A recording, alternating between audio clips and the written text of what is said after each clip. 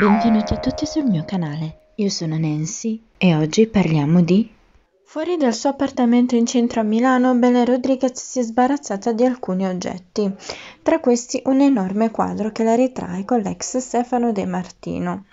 Come mostra uno scatto del settimanale Oggi, il quadro è appoggiato sul marciapiede, come a voler indicare qualcosa di cui liberarsi, anche se il settimanale lascia il dubbio non sia effettivamente così.